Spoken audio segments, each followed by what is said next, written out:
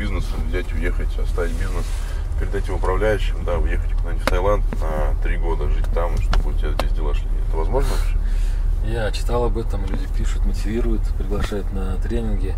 Но до сих пор я не могу этого пока сделать. И думаю, что это, это, наверное,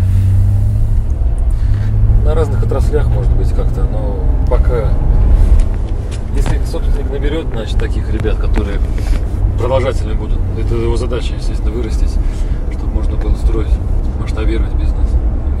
А я вот, ты знаешь, в иллюзии не пребываю, потому что э, я не знаю ни одной компании, где собственник уехал, и она больше пяти лет просуществовала без него. Ну, Даже да. его друзья, там, управляющие партнеры, замы, те люди, которые вроде были надежными, они все равно не так справляются, они не так наполняют энергией там, компанию своих Да. И заканчивается все так как-то плачевно. честно Верно. говоря. Я читаю новости, крупные компании закрываются, и я читаю потом, почему, и ты понимаешь, что нету внутри какого-то вот двигателя, в общем. Но да, первое лицо всегда является двигателем. Да, ну это не страшно, нормально, работа, она без нее, без труда, э, труд облагораживает человека.